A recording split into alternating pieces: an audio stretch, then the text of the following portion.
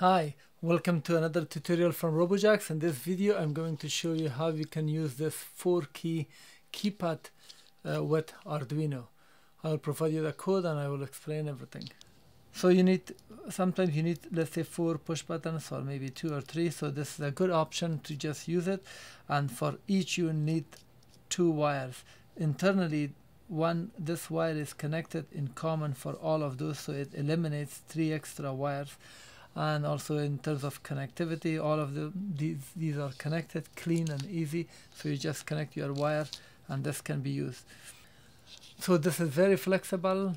You can even bend it tape it whatever way you want as long as you don't break it from this point and this point. So this is very nice. It can be compact as well.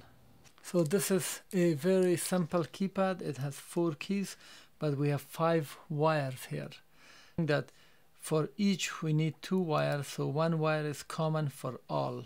Instead of eight we have only five and there is a slight resistance that I measured it. So here I'm, I'm showing you how you can connect the pins. The pins from here I've connected them to Arduino accordingly from left to right here so the the first one goes to 3 and then goes to 2 4 and then 5 and then the last one goes to ground. So this is the the last one which I put the black and it's connected to the ground. The rest are going from pin 2 3 4 and 5 here. So here is the explanation of the code. As you can see I've defined the keys as a variable a constant variable so it makes my life easy.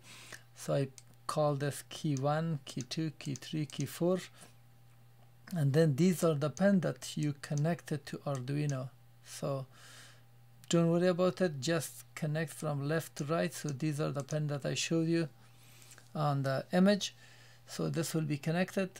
And then this setup from here it shows that uh, this is for printing the text on the screen 9600 baud and then we say key 1 which which refers to pin 2 so this is as if I type pin 2 as if I type 2 here.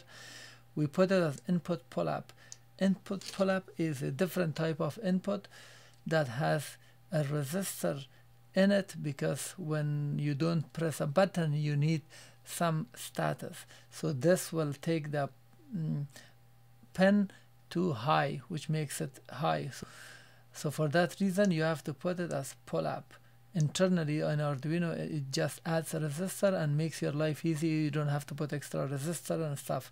So this is a very smart way.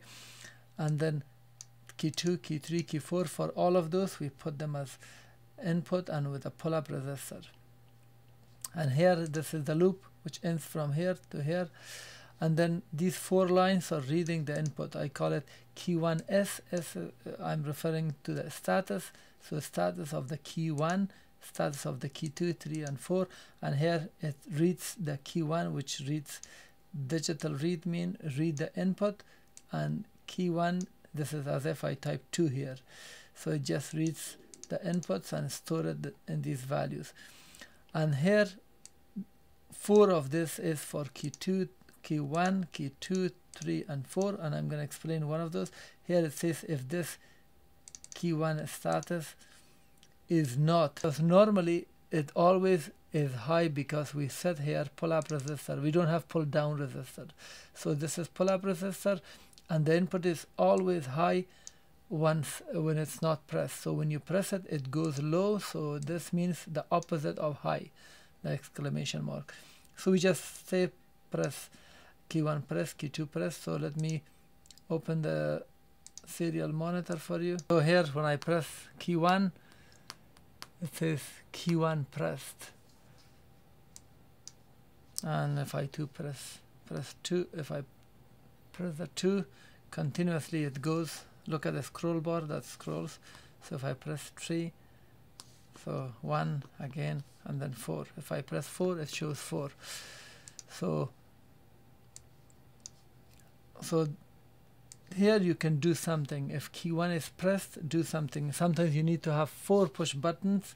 So this is exactly the push button that you need. So this is push button 1 push button 2 3 and 4 and you can do something when push button 2 is pressed. Let's say a light is on, a motor starts rotating, an arm, a servo starts acting. So whatever you want, and the same thing for two and three. And then the last one is the delay that is 100 millisecond or one tenth of a second. Or if I put it this way, it reads it 10 times a second, and this will be printed 10 times, as you can see here. When I press it, it, it goes 10 times. Uh, you can get the code uh, for this project by clicking at the link at the description, which will take you to robojax.com slash learn slash Arduino. Uh, thank you for watching. Please thumb up the video, please share it, and also please subscribe to get updates of my upcoming videos.